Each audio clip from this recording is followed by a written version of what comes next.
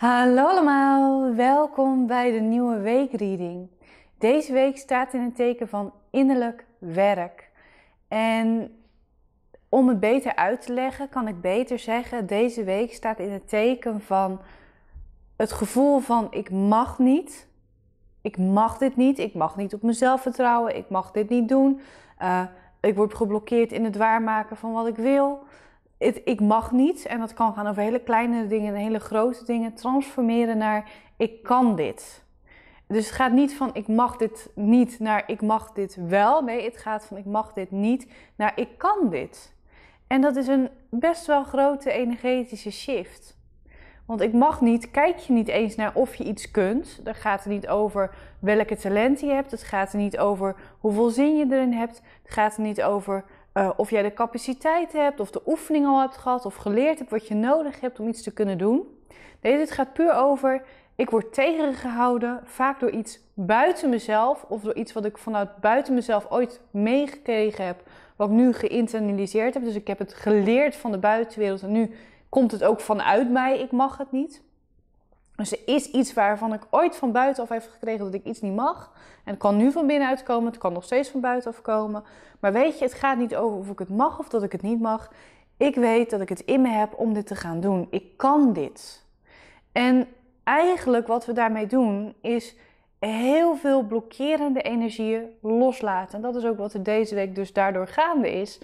Um, eigenlijk worden allerlei energetische verbindingen even aangeraakt om ruimte te creëren om te zeggen, weet je, het maakt niet uit of ik het mag of wat iemand ervan vindt of wie zich ermee bemoeit. Ik kan dit gewoon. En het gaat dus ook nog niet eens over ik ga het proberen of ik ga het doen of ik ga die stap zetten. Nee, het gaat eerst over dat voelen, dat ik die energie in me heb, dat ik die talenten in me heb om het te doen. Zodat ik de rust kan nemen om te kijken of ik het wil. Want wat er vaak gebeurt wanneer we het gevoel hebben dat we iets niet mogen, dan willen we daardoor iets nog liever. Of we stoppen ermee, maar van binnen blijft er iets zeggen van ja, maar eigenlijk wil ik dit. Eigenlijk wil ik hier iets mee doen. Eigenlijk wil ik hier iets mee doen. Maar dat is eigenlijk soms een tegenreactie op het gevoel van ik mag niet. Dus ik mag niet kan een valse, een foutieve ik wil dit creëren. Hè. Ik, ik mag, even een hele stomme, ik mag geen alcohol drinken, ik mag geen alcohol drinken, dat mag ik niet van mijn ouders. Dus eigenlijk wil ik alcohol drinken om te kijken hoe het smaakt. Dat systeem, en dat hebben we allemaal in ons, alleen allemaal op een ander gebied. De een heeft het over zijn eigen onderneming opstarten, de ander over inderdaad een slokje alcohol nemen of proeven, de volgende over iets anders wat niet mag. En dat is net even wat met jou resoneert en wat in jouw systeem zit van dit wil je doen. Of dit maakt jou nieuwsgierig, dit wil je onderzoeken.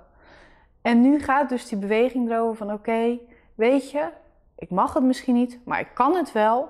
Dus omdat ik het kan, ga ik eerst onderzoeken of ik het wel wil. Of ik het wel echt wil. En of de ik wil behoefte die ik voelde, niet een reactie was op het gevoel dat ik niet mocht. Want het gevoel ik mag niet kan het gevoel geven dat ik iets wil, terwijl ik het eigenlijk niet wil, als een soort van tegenreactie op ik mag niet. Maar nu heb ik de ruimte om te onderzoeken, hey, ik kan dit, wil ik het ook? En daar zit dit dus allemaal in. En ondertussen zijn we allerlei energetische stukjes aan het loslaten die ons het gevoel hebben gegeven, nu en in het verleden, dat we iets niet mogen. Dus er gebeurt best wel heel erg veel. Het is best wel een shift. En ja, de focus is dus weer die bekende vraag van wil ik dit?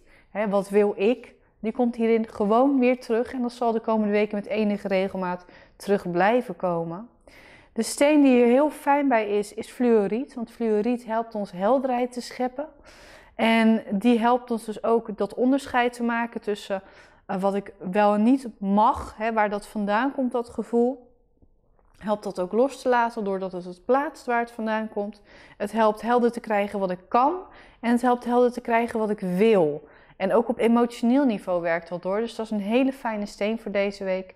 En de geur die ik voor in de diffuser aanraad is kamille, omdat het net even een beetje die rust creëert. Want je hoort het al, het is best wel een gespannen proces waar veel spanning in zit. Veel uh, valkuilen in zitten met betrekking tot verkrampen en spanning creëren en gestrest raken. Dus die ontspanning die kan hier heel erg fijn bij zijn. En dat gezegd hebbende ga ik hiermee afronden en wens ik jullie een waanzinnig mooie week toe.